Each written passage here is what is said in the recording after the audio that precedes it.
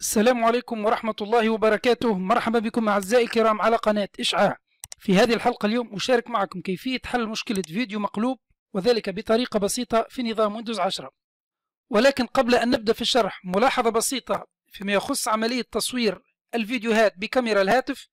إذا أردنا أن نقوم بالتصوير الفيديو بطريقة عمودية فنجعل الهاتف بالطريقة العمودية مثل ما يظهر الآن ثم نقوم بالضغط على زر التسجيل. ولكن إذا أردنا أن نقوم بتصوير الفيديو بالطريقة الأفقية فيجب أن نقوم أولا بتدوير الهاتف ثم بعد ذلك نقوم بالضغط على زر التسجيل. ولكن الفيديوهات التي تكون مقلوبة هي أننا ضغطنا على زر التسجيل والهاتف في شكل عمودي ثم قمنا بتدوير الهاتف لذلك يكون الفيديو مقلوب. ولكن في هذه الحلقة سنشاهد كيفية إصلاح فيديو مقلوب بعد أن تم تصويره بالكاميرا. وللقيام بذلك سوف نستخدم برنامج مجاني متوفر في ويندوز 10 إذا هنا سوف نذهب إلى خانة البحث في شريط المهام. ثم لمن يستخدم الويندوز باللغة العربية سوف نكتب هنا محرر الفيديو. إذا تظهر هنا في الأعلى. ولمن يستخدم اللغة الإنجليزية سوف يكتب video editor. إذا هنا في الأعلى يظهر تطبيق محرر الفيديو. ويمكن تثبيته على شريط المهام. الآن يمكن فتحه مباشرة من شريط المهام. نقوم هنا بالضغط عليه. إذا البرنامج سوف يفتح بهذه الطريقة. الآن سنشاهد الفيديو الذي نريد إصلاحه. إذا هنا هذا الفيديو قمت بتصويره ولكن كما نلاحظ الفيديو مقلوب. إذا الآن طريقة إصلاح الفيديو. نقوم في الأعلى بالنقر على مشروع فيديو جديد. ثم هنا يجب إدخال تسمية للفيديو أو يمكن أيضا التخطي. سأسمي الفيديو مثلا الفيديو بعد التعديل أو الفيديو المعدل. ثم نضغط على موافق. الآن يجب أن نقوم بإضافة الفيديو إلى البرنامج.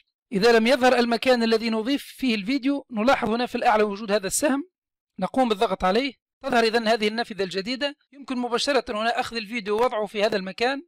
أو أيضا يمكن أن نقر على إضافة ثم من هذا الكمبيوتر إذا كان الفيديو في الكمبيوتر.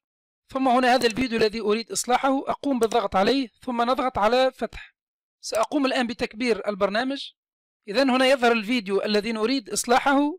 الآن يمكن أن نقر عليه بزر الماوس الأيمن أو يمكن هنا تحديد الفيديو في الأعلى ثم نضغط على وضع في لوحة العمل.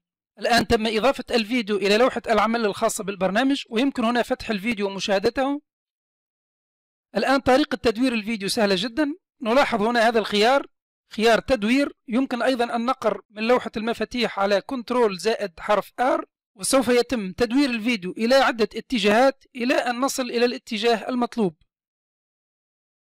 وبهذه الطريقة البسيطة قمنا بإصلاح الفيديو وإرجاعه إلى الاتجاه الطبيعي. سنقوم الآن بفتح الفيديو.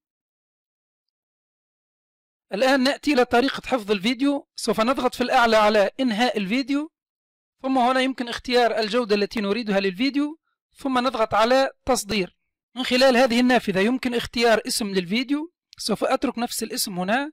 ثم نقوم باختيار مكان الحفظ. سوف أختار سطح المكتب. ثم نضغط على تصدير.